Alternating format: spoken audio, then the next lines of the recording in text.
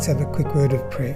Father, I thank you again for your goodness. Thank you for your presence. Thank you for your Holy Spirit who leads us into truth, your Holy Spirit who teaches us about Jesus and takes what from him and reveals it to us. I pray that as we go through this word today that you would open up the eyes of our understanding and give us revelation in the knowledge of you in Jesus name. Amen. Praise God. Right, we're going to have a look through the book of Genesis and we're going to see various um, revelations of God's character. The first word that we find in um, in Genesis is El, E L, and El means strength and it speaks specifically of the Almighty. So you will hear words like Elohim, El Shaddai, El Roi. Now, El is Almighty, all powerful. El. The word for God in Hebrew is Eloah. Eloah. So El Eloah is God or Almighty God, Almighty God. And we are introduced to the Almighty God in Genesis 1, verse 1, where it says, In the beginning, Elohim, Elohim created the heavens and the earth. And so God created the heavens and the earth, and his name there is Elohim. Now, the interesting thing about Elohim, it speaks of plurality. So, although God is one, there's a plurality of persons or personalities within the Godhead. So, God, in the plural form, created the heavens and the earth. Now, this is difficult to understand with the natural mind.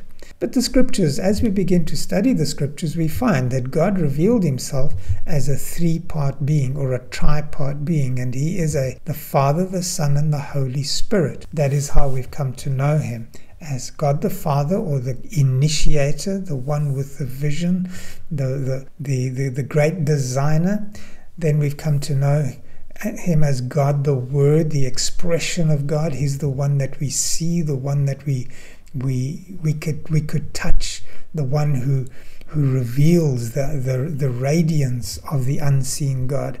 And then there's the God who we call Holy Spirit. He is still he's part of the singular godhead. He is part of one god but he is the the spirit of god.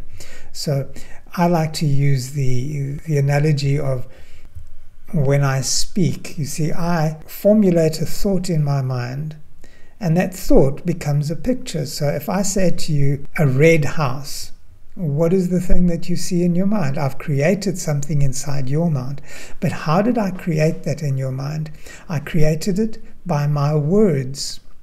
So, as you heard my words, my words went to work through your eardrums in your brain and it created a red house. Now, how was that word carried to you? It was carried to you on the wind or the breath that came out of my mouth. And so it was carried on the airwaves, it came to your eardrums. Your eardrums interpreted the message, sent it to your brain, and you saw a red house. Now, God the Father is the initiator, He's the Father. Out of His bosom comes the Son, the Word of God, and it's through the Word that all things were created. You'll see that in Genesis. And all things are created by the Word through the power of the Holy Spirit. So the triune Godhead works as one. They are one, but there's three distinct personalities or attributes to this wonderful God that we serve. And we find this in Genesis 1, verses 26 to 28.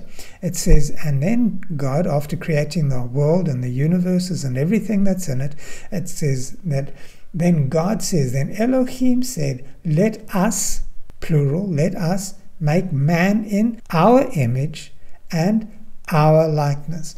So God, the Father, the Son, and the Holy Spirit, took counsel together and said, Let us make man in our image, that is, the way that we are, and in our likeness, that is, to have our, our attributes, our character. So God created man, and He said, um, and then He said, Let them have dominion over the fish of the sea, over the birds of the heavens, over the livestock, over all the earth, and every creeping thing that creeps on the earth. So God created man in his singular image. In the image of God, he created him. And then we see he created male and female. God blessed them and said to them, Be fruitful and multiply, fill the earth and subdue it, and have dominion over the fish of the sea, the birds of the heavens, over every living thing that moves on the earth. So we see that God, who is a triune being, created man a triune being. In the book of Thessalonians, Paul tells us that we are a spirit with a soul and a body. So we are a triune being. So God created us in his image, triune being, and in his likeness. Our souls our minds, our wills, and our emotions were created to be like God in every way. So, in other words, we were to be holy, to be pure, to be righteous, to be filled with the joy of the Lord, to be filled with peace. There was no fear, no anxiety, no anger, no sin, no revenge, no hurt. Our, our character was godlike, and our, our, our physical attributes, our spirit, soul, and body was godlike. We were created in His image and His likeness. Are we gods? No, we are not in the class of God, but we were created in His image and likeness. And why did He create mankind? He created mankind to have dominion, in other words, to rule, to take responsibility over the earth and everything that is in it. So God created us to be, um, what's the word? To, to have responsibility, to be lords, small l, lords over the earth, and to take care of everything on this earth. So He gave us responsibility and authority, and He gave us power to do that as lords over this earth. So we see God's purpose in creating man. The second word that we find when God created man is the word Yahweh. Now, this wasn't Adam write, writing the record of, of Genesis, this was Moses writing the record of, of Genesis. And so he brought in his understanding of God. And the Lord had revealed to, to Moses that he is Yahweh, the great I am the covenant making God. And when God deals with man, as he dealt with Israel, he revealed himself as a covenant God, a God who cares and loves. He is merciful and kind, but he is righteous and holy at the same time. And so we find Moses writing, and he says, And the Lord God, Yahweh Elohim, formed man of the dust of the ground, and he breathed into his nostrils the breath of life, and the man became a living soul. A living soul. So the soul of man is what God wanted to be dominant. His connection with God was his spirit, and his soul was there, there was no corruption or perversion in his soul. He was holy, pure, righteous, and his, his imagination was so creative that he could name all the animals on the earth and remember them. So God created man to be a living soul, to be created, uh, to be creative, and to be dominated by a soul that is totally in tune with God and the spiritual realm. So verse 8 says, And God planted a garden in Eden, garden in Eden, in the east, and there he put man whom he had formed. So God, the loving God, Yahweh, created man because he wanted children. So Yahweh is the redemptive and covenant name of God, revealing the special relationship between humanity and his creator. Elohim, the Almighty God, created the universe and all things, but when it comes to man, he reveals himself as, as Yahweh Elohim, the redeeming covenant God who is full of love, loving kindness, and his loving kindness is from everlasting to everlasting. The next revelation that we have of God is El Yonai. El Yonai. And this we find in Genesis 14, verses 18 to 19. It says, Melchizedek, the king of Salem, brought out bread and wine he was priest of the Most High God. And he blessed Abraham, and he said to him, Blessed be Abraham by God Most High, by Elohim El Yonai. El El Yonai. El El Yonai. So this man's revelation, his personal revelation, is that there's no God, no idol, nothing that is worshipped, no authority, no king who is higher than God. Elohim is El Yonai, the supreme, highest authority in all the universe. The next revelation, or the sixth revelation that we, we find in the book of Genesis, is El Roi. El Roi. And Roi means sight, to see. to be aware of, to see. In Genesis 16, verses 13 and 14, we find Hagar, the servant of, of Sarah, who's gone through a tough time and had been rejected. She ran away from, from home. So she, the Lord came to her and the Lord spoke to her and the Lord encouraged her and told her to go back to her mistress. And in Genesis 16, it says, She called the name of the Lord who spoke to her, You are the God of seeing. You are El Roi. Why? Because you see me.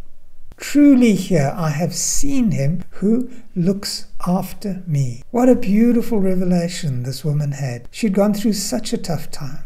Your heart goes out to her when you read of what happened to her. And yet she discovered that there's someone who looks after her. His name is Elohim, El Eloah, El Shaddai, El Yonah, and she discovered him as Yua El Roi, the God who sees me, the God who takes care of me, the God who looks after me. Hallelujah. Isn't that beautiful? The seventh name that we find in the book of Genesis is El Shaddai. Now, this is the name that God spoke to Abraham and said, I am. I am El Shaddai. So the Lord introduced himself to Abraham, Isaac, and Jacob as El Shaddai, and they knew him as El Shaddai. Um, and the word El Shaddai means Almighty, the Almighty God, the All Sufficient One. There's nothing too difficult for our God. In Genesis 17, verse 1, it says, Abraham, when he was 99 years old, the Lord appeared to him and said to him, I am God Almighty. I am El Shaddai. Walk before me and be blameless. So he's saying to this 99 year old man, The promise that I gave to you 25 years ago is going to come to pass.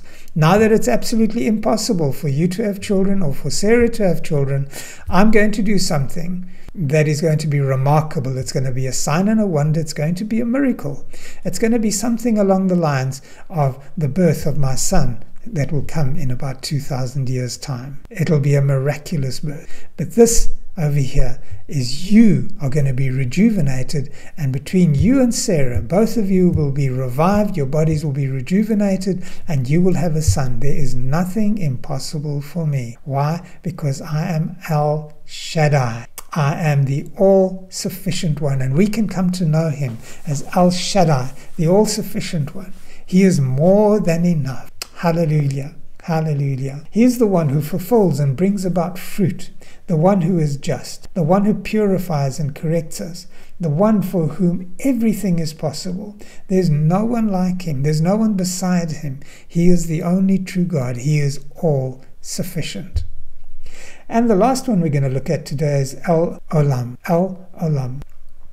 And El Olam speaks of everlasting, eternal, never ending.